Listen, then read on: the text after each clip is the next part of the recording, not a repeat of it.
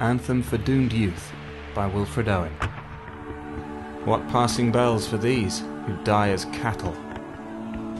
Only the monstrous anger of the guns. Only the stuttering rifle's rapid rattle can patter out their hasty orisons.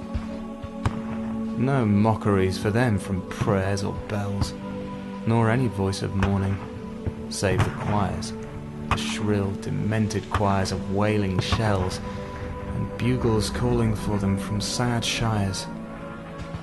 Candles may be held to speed them all, not in the hands of boys, but in their eyes shall shine the holy glimmers of goodbyes.